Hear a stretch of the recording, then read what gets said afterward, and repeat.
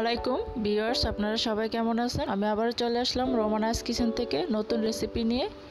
আমি কিছু গরু মাংস নিয়েছি, ধুয়ে ছোট ছোট পিস করে। এখন এটা ম্যারিনেট করে নিব।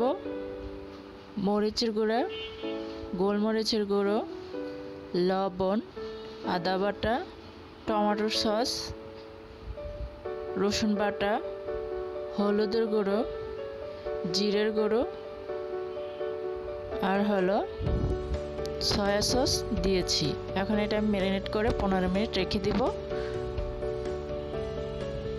আমি আজকে তিন আইটেম আপনাদের করে দেখাবো। সাথে পোলাও হবে আর শুটকির ভর্তা হবে। এই ভিডিওর মাধ্যমে আপনাদের তিনটা আইটেম দেখাবো। আপনাদের আজকে বিফ চিলি রান্না করে দেখাবো। এখন আমি পোলাওটা রান্না করে নিব। তেল দিয়ে রেখেছি। তেজপাতা, দারচিনি, এলাচ দিয়ে সাথে পেঁয়াজ কুচি দিয়ে দিলাম। এটা সামান্য ভেজে নিতে হবে। বেশি কালার করা যাবে না। বেশি কালার করলে পোলাওটা কালারফুল হয়ে যাবে। তো ভাজা হয়ে গিয়েছে। আমি পোলার চাল ধুয়ে রেখেছি। আদা বাটা, রসুন বাটা দিয়ে রেখেছি। স্বাদ মতো লবণ অ্যাড করে দিলাম। এখন চালটা দিয়ে দিলাম।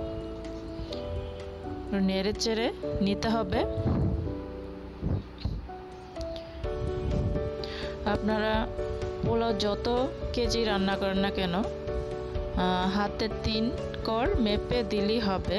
আর যদি একটু পুরোনো চাল হয়ে থাকে, তাহলে তিন করে একটু বেশি দিতে হবে পানি পরিমাণটা। আমার চালটা একটু পুরনো, তাই তিন করে একটু বেশি পানি অ্যাড করে দিচ্ছি।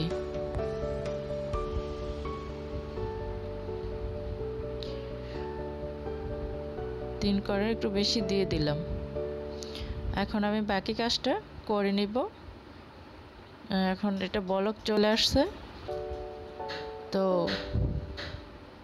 ডাকনা দিয়ে ডেকে দিব, এখন চুলাটা কমিয়ে। বাকি কাজটা করে নিব। আটা নিয়েছি, বিট লবণ দিয়ে দিচ্ছি। এটা মাংসটা ভেজে নেওয়ার জন্য স্বাদ মতো লবণ, সামান্য পরিমাণ। জিরের গরু এখন এটা মেখে নিব। এখন আমি দেখ, মাখা হয়ে গিয়েছে। আমার পোলাওটা কি পর্যায়ে আছে? সাথে চার পাঁচটা কাঁচামরিচ অ্যাড করে দিলাম। এখন একটু নেড়ে চেড়ে আবার ডেকে দিব। চোলা রাসটা একদম লো আছে দিয়ে ডেকে দিতে হবে।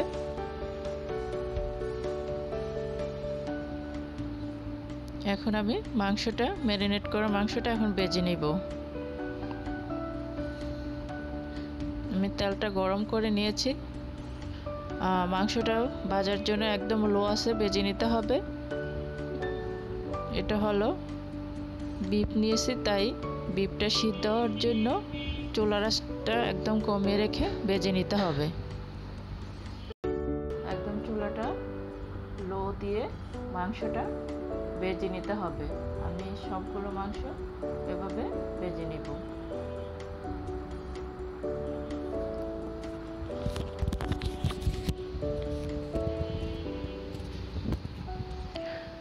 এখন আমি দেখি পোলাওটা কি অবস্থানে আছে।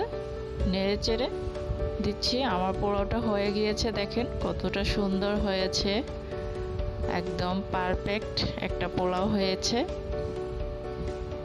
এখানে এটা আবার নেড়ে চেড়ে চুলাটা বন্ধ করে ডেকে রাখব। আমার পোলাওটা হয়ে গিয়েছে, দেখেন সুন্দর একটা জর্জরা পোলাও হয়ে গিয়েছে। মাংসগুলো উল্টিয়ে দিচ্ছি। চুলোটা একদম লো রেখে কিন্তু মাংসটা ভেজে নিতে হবে। এটা বিফ সেজন্য চুলা রাসটা লো আসে দিয়ে যেন পুরো মাংসটা ভালো করে সিদ্ধ হয়। এবং লো আসে দিয়ে মাংসটা ভেজে নেব। মাংসটা ভাজা হয়ে গিয়েছে, এখন আমি নামিয়ে নেব এটা।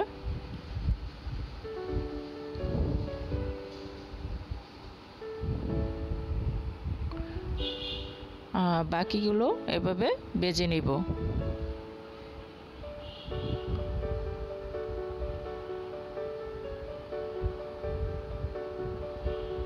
আমি সস নিয়েছি, চিলি সস, সয়া সস, কাঁচামরিচ চার পাঁচটা, আর টমেটোর সস, চিলি সসটা মিষ্টি।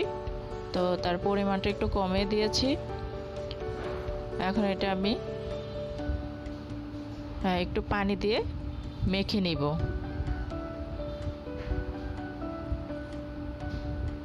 সামান্য পরিমাণ পানি দিয়ে এটা নেড়ে চেড়ে পাতলা করে নিব।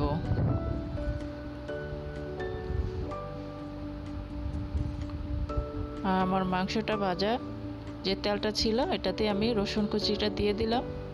শুধু কিন্তু রসুন কুচি দিয়ে মাংসটা রান্না করে নিতে হবে। এই মাংসটা খেতে ভালো লাগে। সামান্য পরিমাণে পেঁয়াজ কুচি দিয়ে দিলাম। ভিউয়ার্স, আমার চ্যানেলটা নতুন, ভালো লাগলে অবশ্যই সাবস্ক্রাইব করে লাইক বেল আইকনে ক্লিক করে লাইক দিয়ে দিবেন। আমি সসটা দিয়ে দিলাম। একদম চুলা রাসটা লো আছে দিয়ে পনেরো মিনিট ডেকে রাখতে হবে। যদি মাংসটা কোনো রকম একটু কাঁচা থাকে তাহলে এই পনেরো মিনিটের মধ্যে টোটাল এটা সিদ্ধ হয়ে যাবে। তাই পনেরো মিনিট আপনারা একদম চুলা রাসটা লো দিয়ে ডেকে রাখতে হবে। এই মাংসটা খেতে অনেক ভালো লাগে। আপনারা চাইলে বাসায় ট্রাই করতে পারেন। আমার মতো পোলাও দিয়ে, মোটা ভাত দিয়ে যে কোনো খেতে পারবেন, অনেক ভালো লাগবে। মিনিটের জন্য ডেকে রাখলাম। পনেরো মিনিট পরে দেখলাম আমার মাংসটা হয়ে গিয়েছে। এই চিলি চিকেনটা খেতে অনেক ভালো লাগে। আর আমার রান্নাটা যদি আপনাদের ভালো লাগে অবশ্যই লাইক দিয়ে দিবেন। প্রতিটা ভিডিও দেখে। আমি পুটি শুটকি নিয়েছি।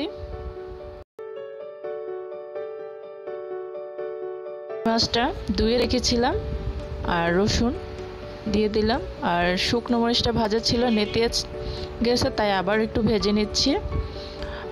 এই পুঁটি মাছের ভর্তাটা খেতে ভালো লাগে। আমার অনেকে তেল দিয়ে ভাজে, আমার ওভাবে ভর্তা খেতে ভালো লাগে না। তাই আমি এভাবে বেজে নিচ্ছি। এই ভর্তাটাই ভালো লাগে, শুটকির। আমার যে রেসিপিটা বেশি ভালো লাগবে, অবশ্যই কমেন্টে জানাবেন। পরবর্তী ভিডিও পাওয়ার জন্য অবশ্যই সাবস্ক্রাইব করে আইকনে ক্লিক করে রাখবেন। এখন আমি ভর্তাটা করে নিব। ভাজা হয়ে গিয়েছে, লবণ দিলাম। মরিচ এটা বেটে নিব এখন।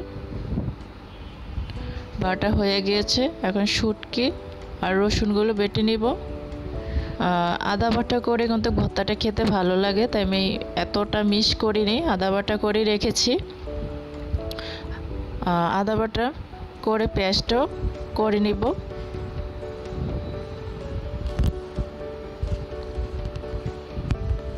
দেখেন, আদা বাটা হয়েছে, অতটা মিস করিনি। এই ভর্তাটাই খেতে ভালো লাগে। আমার ভর্তা হয়ে গিয়েছে, এখন পরিবেশন করলাম।